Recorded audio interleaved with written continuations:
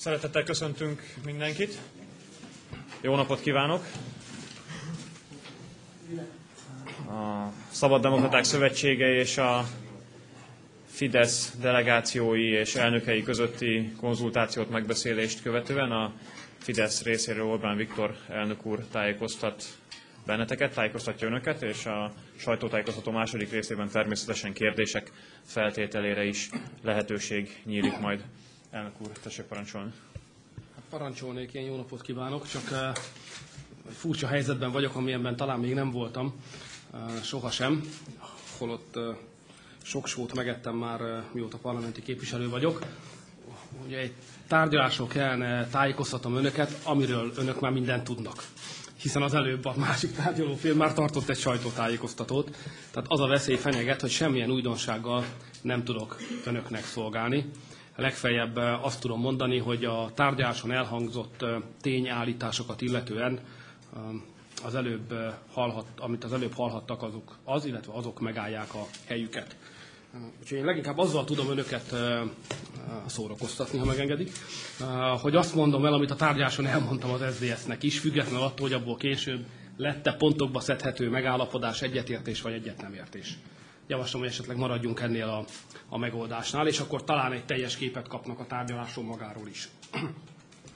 A Fidesz álláspontját ismertettem az SZDSZ delegációjával, amelynek összefoglalóan a lényegét úgy ragadhatjuk meg, hogy Magyarországnak új politikára és új kormányra van szüksége.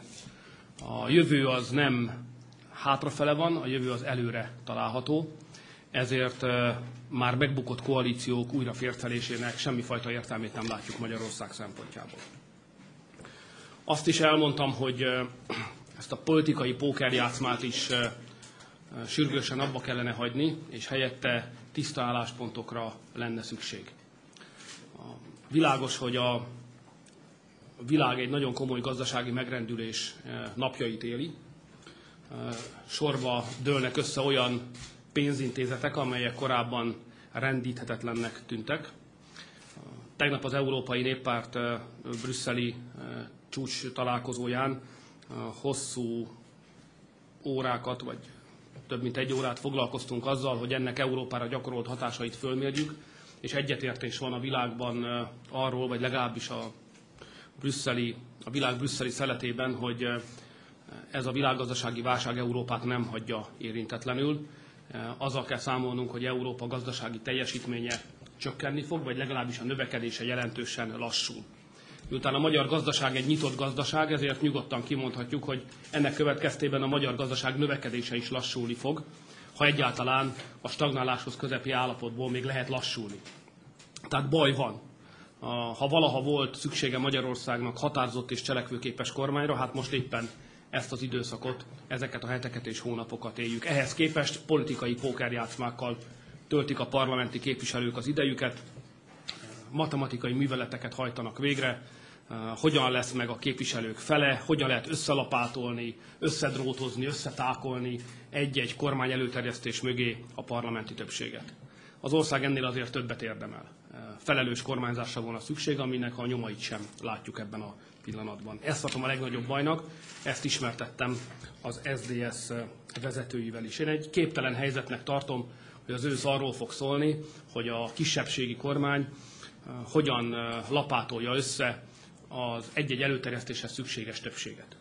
Miközben semmi energia nem marad azoknak a nagy kérdéseknek a megválaszolására, hogy hogyan védjük ki a gazdaság, világgazdasági megrendülés hatásait, vagy hogyan csökkentsük annak kártételeit, hogy hogyan indítsuk meg újra a magyar gazdasági növekedést, hogy hogyan lehet egy tekintélyes adócsökkentési pályára állítani a magyar gazdaságot. Ezekről a kérdésekről szó sem lesz az ősszel, vagy ha igen, akkor nem ezek a kérdések lesznek a politikai viták középpontjában. Azt kell mondanom, hogy egy, egy országban az életünk fontos kérdéseit értelmes és egészséges viták alapján kell eldönteni. Egy költségvetésnek is értelmes és egészséges viták alapján kell megszületnie, nem pedig az szerint, hogy a kisebbségbe szorult kormányzó párt hogyan tud összetoborozni egy-egy döntéshez parlamenti többséget. Szélcsendben nem tűnik fel, hogyha eltörött a kormány, de most vihar készülődik, illetve annak az előszelét már érzi a magyar gazdaság. Ilyenkor igenis számít, hogy a kormány törött és kisebbségi. Összességében azt tudtam elmondani a szabaddemokratáknak, hogy én mindazt, ami történik ma Magyarországon, egy kisebbségi kormány kicsinyes politikájának látom. Kicsinyes, mert nem az ország nagy kérdéseivel, hanem a saját kicsinyes ügyeivel, pozícióharcaival, parlamenti többségével foglalkozik. Holott Magyarországnak egy nyitott és nagyvonalú politikára, nyitott és nagyvonalú kormánypolitikára lenne szüksége. Nos, hát nagyjából ez volt az általános kép, amit elmondhattam. Minden más tekintetben hallhatták már az SZDSZ elnökét, miben nem értettünk egyet, miben különböznek álláspontjaink, és melyek azok a kérdések, amelyekben egyetértünk. Ezek közül én csak egyet szeretnék kiragadni, illetve egy gondolathoz szeretnék néhány mondatnyi kommentárt fűzni. Az nyilvánvaló, ezt elmondtuk a tárgyaláson is, hogy ha az ellenzék akár többségben is van, mint most a magyar parlamentben matematikailag ez a helyzet, akkor sem vállalhatja át a kormányzás felelősségét. Tehát az nem járható út, hogy mi alkotunk meg, mármint az ellenzék szakmai egyeztetések során megalkotja a költségvetés, vagy megalkotja éppen az adótörvényeket. Ez egy képtelenség. Ezzel csak mélyítenénk az ország válságát, és nem megoldanánk azt. Ellenben az ellenzék, ha többségben van, egy kötelességtől semmiképpen nem mentesülhet. Ez a kötelesség pedig az, hogy megakadályozza, hogy a kormány súlyos hibákat kövessen el. Ehhez van ereje, erre van lehetősége, és erre van morális alapja is. Tehát abban egyetértettünk az SZDSZ-szel, hogy nem szabad megengedni, hogy olyan költségvetési politika érvényesüljön Magyarországon, amely tovább súlyosbítja a bajokat. Azt mindenképpen meg kell akadályozni.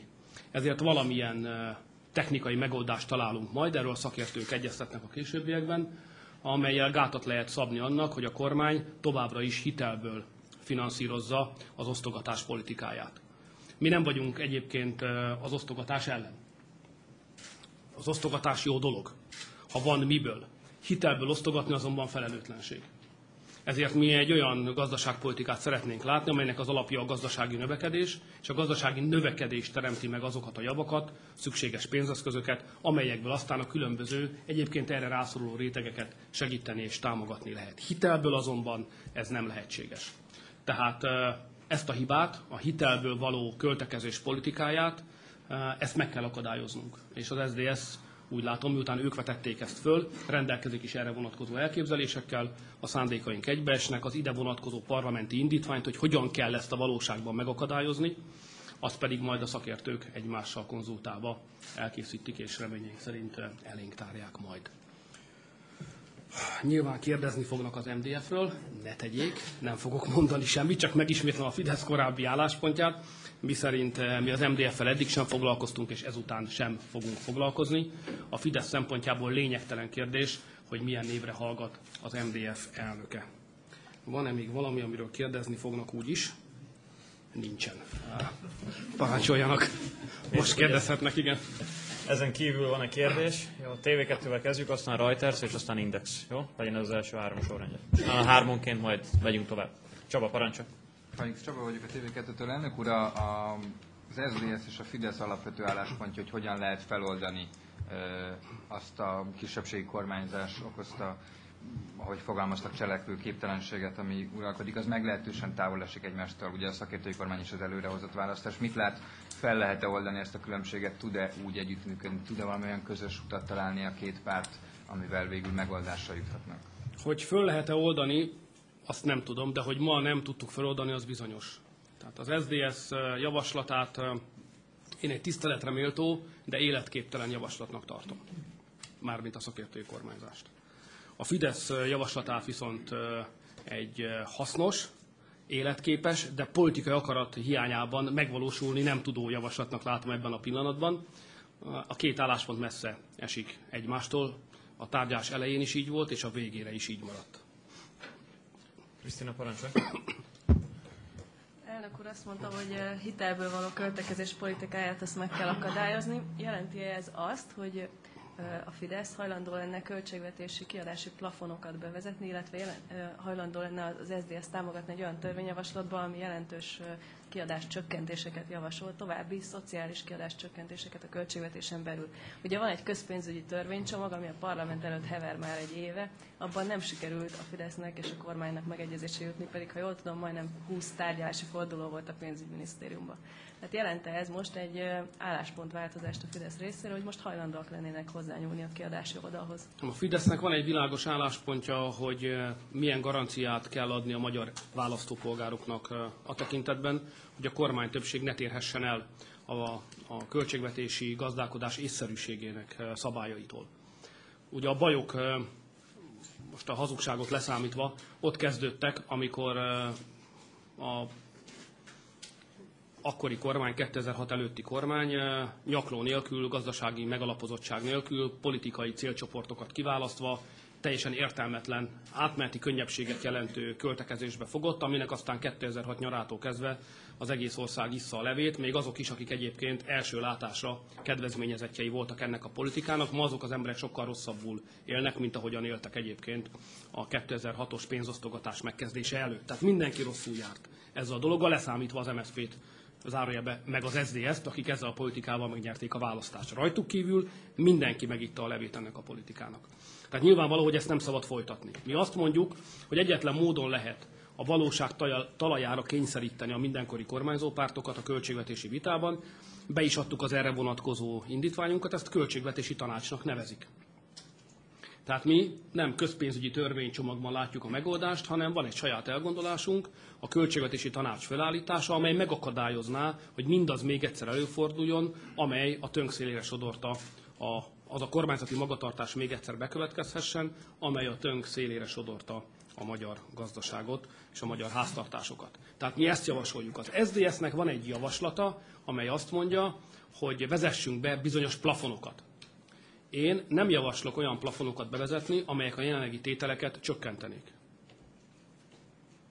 Tehát olyan tételeket nem tudok elfogadni, nem tudunk támogatni.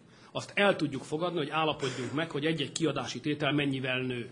És azoknak a növekedése legyen összefüggésben a várható gazdasági növekedéssel és a teljesítménnyel de nem kiadás csökkentésről, hanem a következő évre szóló költekezés felső határának meghúzásáról van szó, amit én nem mínuszban, a mostani az idei költségvetés számokhoz képest nem mínuszban, tehát nem csökkentésben látok, hanem egy limitált növekedésben.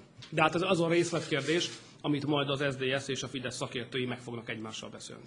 Hadd kérdezek vissza, tehát hogyha nem úgy látja, hogy nincs semmilyen lehetőség a kiadások csökkentésére, akkor mégis hogyan gondolja, hogy bármilyen módon lehetőség lenne nagyobb adócsökkentésre? Kormánywáltásra. Nem, új gazdaságpolitika... most gazdasági kérdést de, de, bocsánat, de egy új, új, tehát bocsánat, a gazdaságpolitikának a lényeg az a politika. Hogy legyen egy politikai akarat, amely bizonyos gazdasági koncepciót valósít meg. Ma ez hiányzik. Az országnak ezért mondom, hogy nem egyszerűen csak egy új kormány, hanem egy új politika is kell. Ennek az új politikának a középpontjában a gazdasági növekedés megindítása áll. Ezt a mostani kormány képtelen megvalósítani. A mostani kormány nem azért nem valósít meg jelentős gazdasági növekedést, mert ne állnának rendelkezésére azok az intellektuális források, szakértők, szakmai elgondolások, amelyeket egyébként a magyar közgazdász társadalom már kitermelt magából is nyilvánosságra hozott, hanem azért, mert nincs hozzá politikai ereje, illetve akarata. Ezért kell új kormány és új politika. A gazdaság bajának megoldása nem a gazdaságban van ma, hanem a politikában kormányképes erő kell az ország élére, amely képes vezetni Magyarországot, és meg tud indítani egy új gazdaságpolitikát. Ez a gazdasági siker kulcsa. Index, József, parancsolj.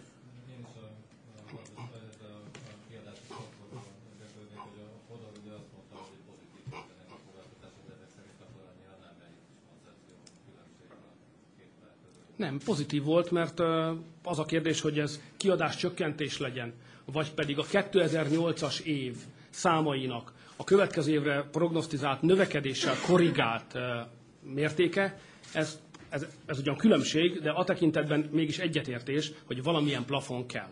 A plafon azonban nem azt célozza, hogy kisebb legyen egy tétel, hanem azt célozza, hogy a növekedés mértéke szabályozott legyen. Ugye miért, miért kerül elő a javaslat egyáltalán? A javaslat azért kerül elő, mert az SDS, ha máshonnan nem, hát a saját sorsából, résztvevő megfigyelőként megtanulhatta és megtapasztalhatta, hogy milyen az, amikor egy költségvetést irreális alapokra helyeznek. Ez a veszély fenyeget. Tehát meg kell akadályozni a kormány. Mi az ellenzék hivatása? Az ellenzék hivatása elsősorban az, hogy megakadályozza, hogy a kormány szarvashibákat kövessen el. Ez egy szarvashiba volna. Ennek az eszközét keressük, az egyik ilyen eszköz, ami számításba jön, a Fodor elnök úr által fölvetett költségvetési plafon aminek a részletkérdéseiről még beszélnünk kell, de még egyszer szeretném jelezni, hogy megszorítást, visszavágást e tekintetben nem támogatunk. A növekedés észszerűségének a mértékét keressük, és egy vitában erre fogunk majd összpontosítani. Következő három kérdésnél akkor a Magyar Nemzet, a Magyar Televízió és a Népszabadság, és utána lesz még egy hármas kör. Ezt a Magyar Hírlappal kezdjük. Gábor, parancsolj. Mikrofont használja, légy szíves. Köszönöm.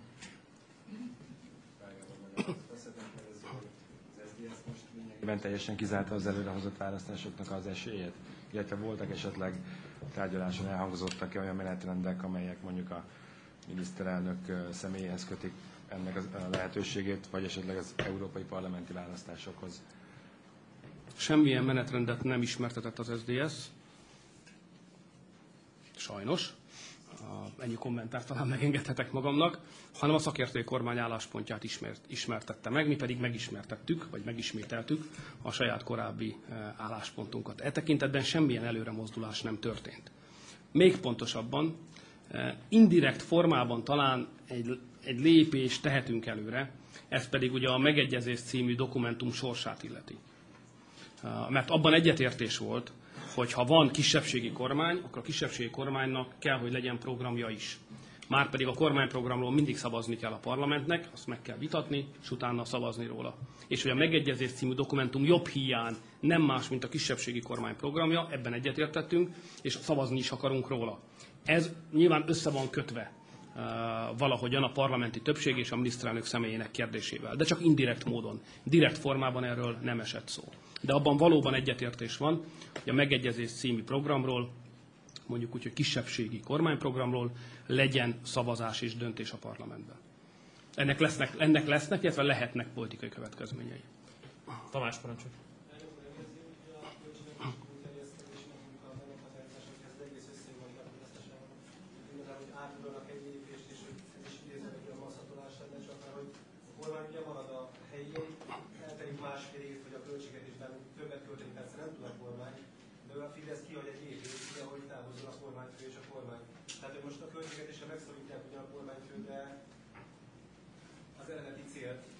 parancsol. Ezzel egyetértek. Tehát a kérdésben leírt helyzetértékeléssel, az én egyetértek. Egyetértek, azért értek vele egyet, mert ez valóban jobb hiány.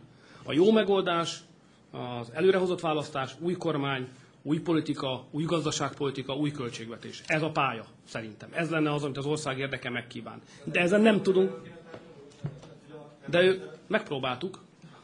Javas, de ők erről nem akarnak tárgyalni, mert ők a szakértői kormányhoz ragaszkodnak. Ezért, ahogy a még egyszer hadd húzzam alá, hogy ön pontosan írja le a helyzetet, jobb hiány abban maradunk, hogy kormányozni nem tudunk, mert ellenzékből kormányozni nem lehet és nem is szabad, ellenben meg kell akadályoznunk kapitális hibák elkövetését és bekövetkezését. Erre szorítkozunk most. Azért szorítkozunk erre, mert az SDS nem vállal többet. Ennyit vállal. És azt kell mondanom, hogy a körülményekhez képest ennek is örülni kell. Ildikó, tessék parancsolni. Kis hal, jó hal, bocsánat. Bocsánat. Tehát, hogy az SDS-t ön az ellenzékhez sorolja? És hogy milyen volt a tárgyalások hangulata ebből a szempontból? Hát az tárgyalások azok fideszes hangulatban zajlottak, ezért számos mondatot nem is álmódomban szó szerint visszaadni. De hát, hogy mondjam, a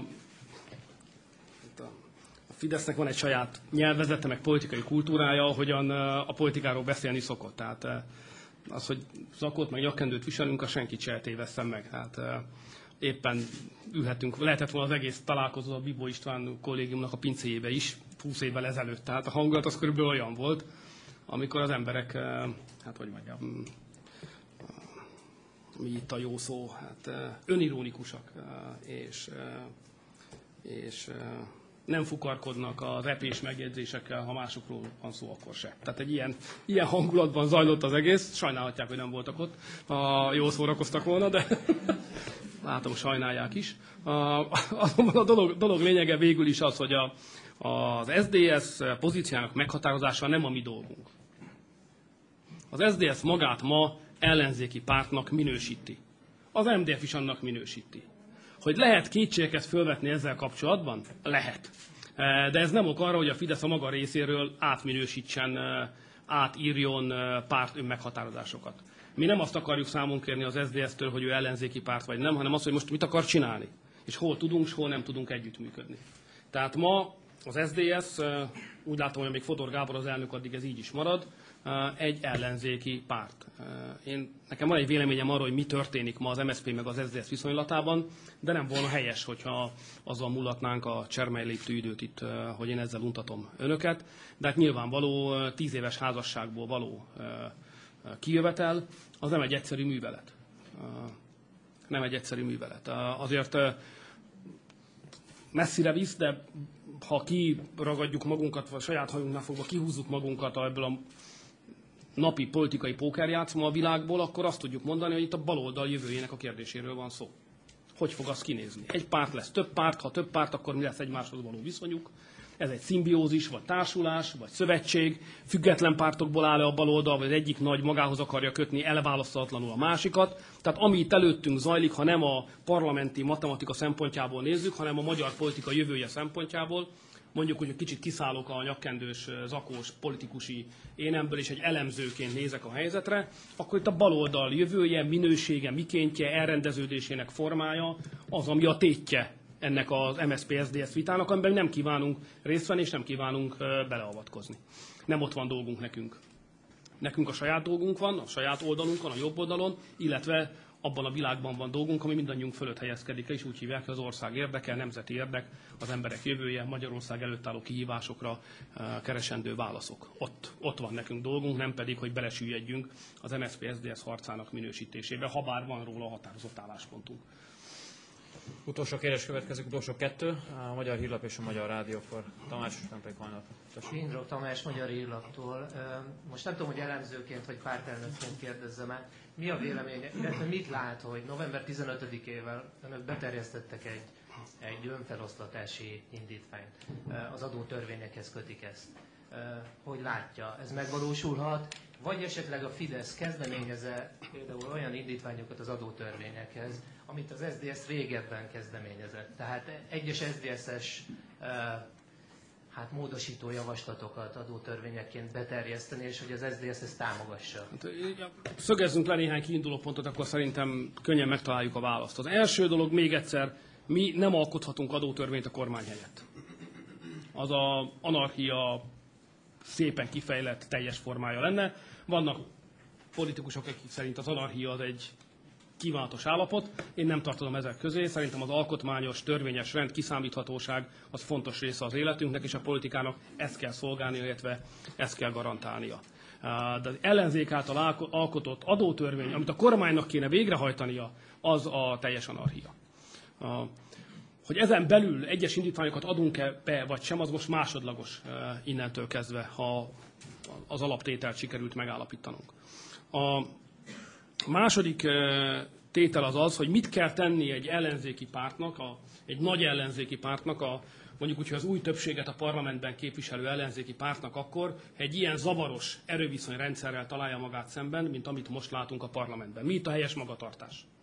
És a Fidesznek erre a kérdés az a válasz, hogy ilyenkor az egyértelmű, egyenes és világos álláspontok politikája a jó politika. Nincs taktikázás, nincs ügyeskedés, nincs egyezkedés, nincs paktumozás. Egy ilyen zűzavaros helyzetben csak egyenes, világos politikát szabad folytatni. Ezért volt, hogy az MDF-nek a parlamenti önfelosztató indítványát, bár semmi esély nem volt rá, hogy átmenjen, megszavaztuk. Mert nem taktikailag viszonyultunk hozzá, hanem az egyenes beszéd logikája szerint. Mit akarunk? Szerintünk mi az ország érdeke? Előrehozott választás. Akkor megszavazunk mindent, ami ezt az irányt célozza meg. És nem szavazunk meg semmit, ami ezt hátráltatja. Tehát én egy, egy ilyen nagyon világos, taktikázásoktól mentes, érthető, tisztaívű, nagyvonalú, nem kicsinyes, hanem az új többséghez méltó politikát várok el a Fidesztől, saját magunktól, magamat is eh, persze beleértve ebbe. Ez a helyes politika ilyenkor. Még egyszer mondom, eh, világbiztonsági kérdések, a grúz-orosz válság az nem az oroszokról szól, hanem rólunk, fontos kérdések, közép-európai együttműködés kérdései, energiabiztonság kérdése, világgazdasági pénzügyi válság előjele, egy egyre lassuló magyar gazdaság, egy kormányzásra képtelen politikai elit a baloldalon. Ez a helyzet, amivel szembenézünk. Ezt őszintén és komolyan meg kell nevezni, és ebben a dimenzióban kell a Fidesznek elmondania, hogy mit kell tenni mit lehet tenni, és független attól, hogy valamit át tud vinni a parlamenten, vagy nem, van-e hozzá támogatás, vagy nem, az e- nem is a politikai elithez, hanem az emberekhez kell beszélni. Hogy az emberek lássák, hogy még vannak azért ebben az országban néhányan a politikában, van olyan jelentős politikai erő, ami tudja, hogy mi a dolga, mivel kell foglalkoznia, mi az igazán fontos Magyarország számára, és nem egy politikai pókerjátszmában akar részt venni a Fidesz, ebben a politikai pókerjátszmában nem vesz részt.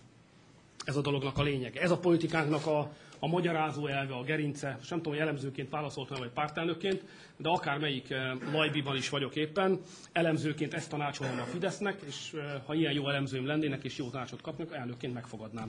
Tehát körülbelül ez a kör, ami itt most, be ami most itt be is zárult. Utolsó kérdés következik, Hanyi parancsolj.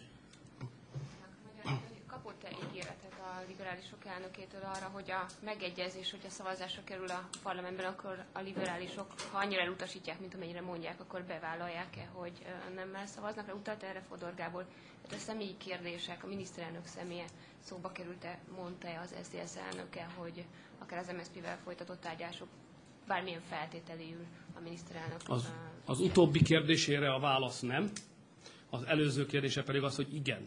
Tehát az SZDSZ delegáció egyértelműen azt mondta, hogy ők meg akarják vitatni, és szavazni akarnak a megállapodás című dokumentumról, és el fogják utasítani, mert vita alapnak sem jó.